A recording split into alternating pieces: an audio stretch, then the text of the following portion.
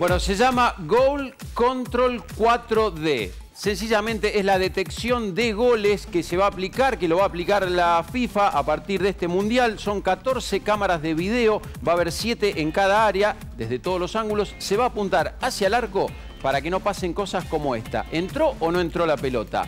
Va a haber un sensor, fíjate cuando, por ejemplo, la pelota ingresa en la muñeca del árbitro, va a tener un reloj y le aparece la palabra gol. Ahora, esto, realmente fue un, pedido largamente realizado, Miguel, que, haya control, se hablaba del ojo de águila tantas veces, ¿no?